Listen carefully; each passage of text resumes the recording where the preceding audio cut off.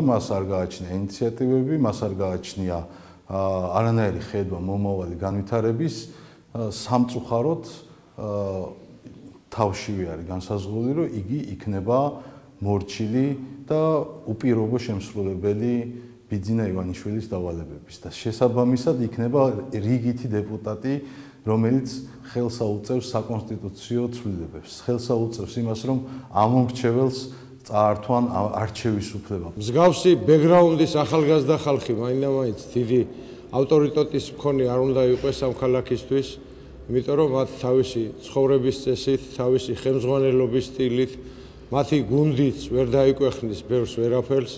ახსოვს კარგად ხალხს მათი მოღვაწეობის 9 წლიანი პერიოდი, მათ პიროვნული ღირსებების ან პირიქით ანტიპიარს მე არ შეუდგები ამჯერად არიან კონკურენტები იმ რესურსით, რაც გააჩნია ზოგადად ნაციონალურ მოძრაობას. მე შეგნებულად თავს შევიკავებდი მისი შეფასებისგან, თუმცა იქიდან გამომდინარე რომ ორივენი მეორე ტურში ვარ და პირველ ტურში ხელისუფლება მოახერხა ის რომ ეჯობნებია ჩვენთვის და ჩემ კონკურენტს ჩემთვის ნიშნავს რომ ძლიერი კონკურენტია გავლენო პერიოდმა 8 ოქტომბრიდან დღემდე თუნდაც გვაჩვენა ის რომ ხელისუფლებას არაფრის შეცვლის უკეთესობისკენ სურვილი არ აქვს. დარწმუნებული ვარ ამის შესაძლებლობაც მოკლებული იქნება ჩემი ოპონენტიც.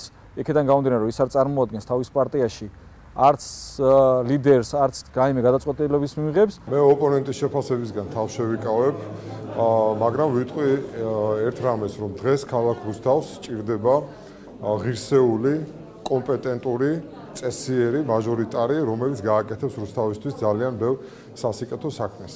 საზოგადოება თავად აფასებს ორივე კანდიდატს.